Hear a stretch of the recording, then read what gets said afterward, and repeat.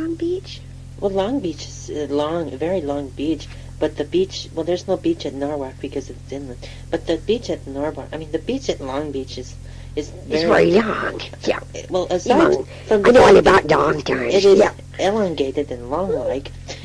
aside from the fact that it is, will you just get to the point? It is a very ugly beach.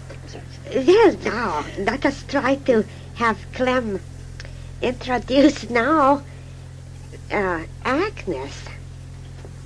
Oh, yeah. Well, My Trilla. let me present Agnes Opal Glo- Glover. Birthday, Opie. Opal. Lobby. No, Opal, O-P-A-L, Glover. Born October 30th. Hey, that the day before Halloween. I know, I was always called a witch for being born, you know, right Did anyone, ever, Halloween. did anyone ever call you Pumpkinhead? They used to call me Agnes Glutch. Yeah, glitch. That's pretty. You like it. It's almost as pretty as Glimmer. Thank you. Of course, that's not as good as Summer.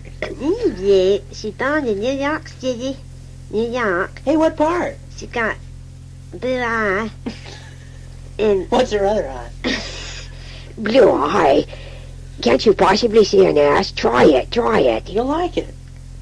blue eye. I can't. the- Bright eye. See, my tongue won't do that. Okay, Huh, It's on strike. He's out to lunch for life. she got down here that her hair, instead of river color, like Eddie said, she got Kid down makeup. here at dark auburn. It is dark, dark auburn. I'm always talking like you now. God help you.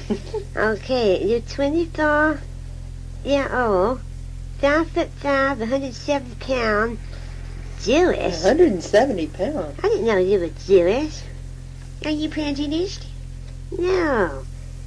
But you don't look Jewish. Well, what are they supposed to look like anyway? Everyone says that all the time. I look just like I look. Look at her nose. You can tell she's Jewish. And second thought, don't look at my nose. It ain't too bad. Well, compared to... Oh, Compared to. Yeah, compared to yours. Uh-huh.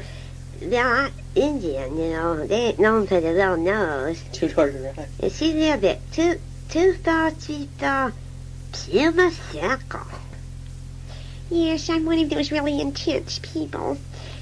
And I will tell you that I loved it in New York. And I was only 16 when my father got this job out here in Stagwell with the Osco Company, like we were saying. And he was transferred, and I was broken-hearted. But then I got to loving it out here, and I wouldn't leave it for anything now. See, the business You like he was the in, he was a branch manager, and the Osco company is expanding. You know, it's growing bigger all the time. They're opening up new operations. They're going to open one in Hawaii. Did you know that? Yeah, they had one out in Seattle when I lived up there. Yeah, Osco is expanding.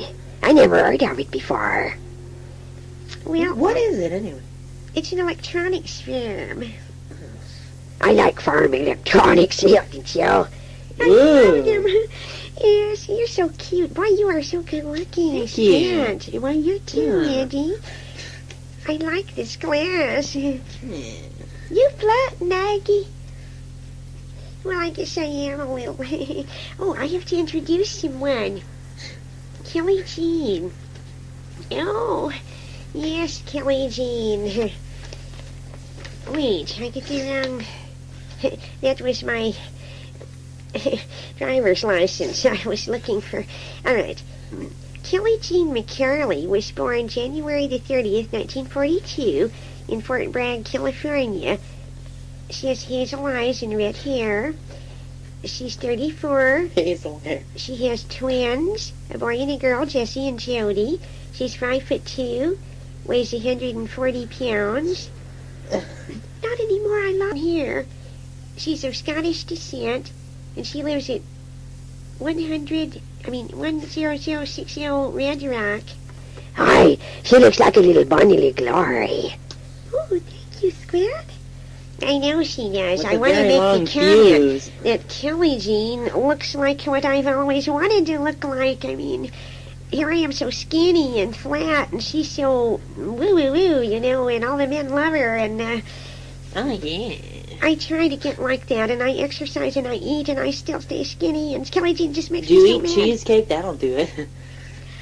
I didn't know you you liked me that much, Agnes. You really like the way I look. Of course, who wouldn't want to look like you? oh, thank you. Valerie, would you want to? I like it too. Valerie, would you want to look like that? Good Lord, I don't know how you can ever fit into clothes when you, I mean, you know, it's awful hard for you to find things to fit you. They're either too tight or your legs are too short or, you know. Well, Oh, well, is it? It's my turn to talk about me now. well, you know, I married Roy McCarley. I quit high school at 16.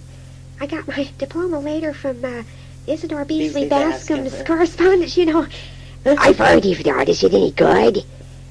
It's pretty good. do you need it, Squint? No, I finished high school. Oh, that's right. And he even went a little bit to college. He was telling me he wanted to be a doctor at one time. It was better than trying to be a priest. Oh, you don't look like the priestly type at all. Through with him. Well, I um, I wanted to make it big in L.A., but I ran out of money down there when I went the last time, so I, I came back uh, here because my sister Ruth Ann Wedge lives here. Her husband's name is Bruce Wedge. Ruth Ann who? Wedge, Wedge. and uh, I've been trying to find myself since my divorce. It's not easy. Sometimes the child support is late, and I'm always running out of money. Anyway, I, I'm going to introduce uh, Valerie now. Uh, Valerie Elizabeth Vanderwood, born uh, July seventh, nineteen forty-seven. She was she was born here in Bluff, but she lived for a long time in Waco, Texas. No, you got it wrong. I was born in Waco, Texas, and we Lived a long time here. yeah. Oh, I'm sorry. I, I I'm excited. I read it wrong. Uh, she has blue eyes and blonde hair. Question. Yes, it's blonde. It's touched up, but it's blonde. We've been friends down at the women's equality meetings for quite a while now. Uh, Valerie is 29 and she's 5'7", weighs 125 pounds. She's of Dutch descent and she lives at 378 North Juneau Street, which is in the ritzy part of town where I'd like to live. And, well, tell them that my parents practically founded this town. Yeah, they did. Yeah, they certainly did. And uh, she's the aristocracy of Stag, Stag Bluff. But we're friends. Sagsville. Stag Oh, yeah, that's a good one. He practically built this town. Hey, we're gonna be good She's friends. pretty well built herself. We're gonna be good friends, you know. You tell him, honey. Well, did we, we all, oh, I gotta say something, sure, you know, before class time runs out. You went to Muggy University. Yeah, I went to, uh, see, I was born in Waco, and we, we stayed down there. My daddy had these oil investments for a while, you know, and chili beans. we stayed down there till I was 14, and then, then he sold out everything, and we came up to Stag Bluff, which is where my parents were from. Oh,